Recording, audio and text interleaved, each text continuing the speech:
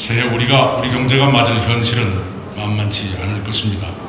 대외적으로는 1944년 브레튼 우스 협정 이후 70년 이상 계속되어온 자유무역이 흔들리고 주요국 경제가 하강하는 등 불확실성이 커질 것으로 보입니다.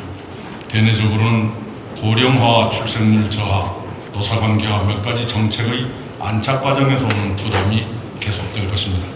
새해 정부는 첫째, 내외의 불안과 부담을 선제적으로 대처하고 완화하도록 최선을 다하겠습니다. 정책의 방향은 견제하되 정책의 이행은 실용주의적으로 유연하게 접근함으로써 성과를 내고 수용성을 높이겠습니다. 노동시간 단축의 보완과 최저임금 인상의 안착을 위한 다양한 지원을 차질 없이 진행하겠습니다. 둘째, 투자 분위기를 높이겠습니다. 기업들이 계획하고 있는 대규모 투자 사업들이 조기 착공될 수 있도록 정부가 지원하겠습니다. 공공부문에서도 광역권 교통, 물류 등 대형 인프라 건설에 나서겠습니다. 예산의 61%를 상반기에 집행해 경제 활력을 자극하겠습니다. 국가 균형 발전의 도움, 발전에 도움이 되는 대형 사업들을 예비 타당성 조사 면제 방식으로 조기 추진하겠습니다. 셋째, 주력 산업, 신산업, 서비스 산업 등 3대 산업을 더 강력히 지원하겠습니다. 이들 3대 산업에 대한 민간과 공공의 대규모 투자를 되살리겠습니다. 창업을 더 지원하고 역대 최대 규모의 R&D 예산을 신성장 농력 확충에 중점적으로 투입하겠습니다.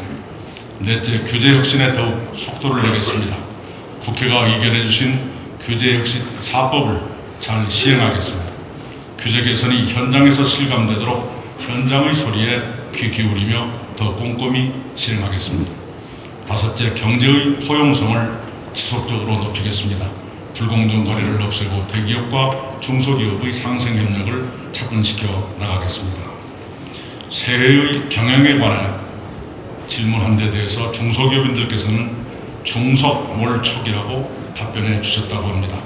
돌 가운데 화살이 박혔다는 말로 전력을 다하면 불가능이 없다는 뜻이라고 합니다. 경제인 여러분 모두 중석 몰촉의 기계로 새해를 맞으시기 바랍니다. 정부도 중석 몰촉의 각오로 일할 것입니다.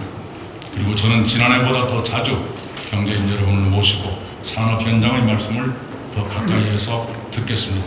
여러분 새해 모두 복 많이 받으시고 모든 사업 성공하시기 바랍니다. 감사합니다.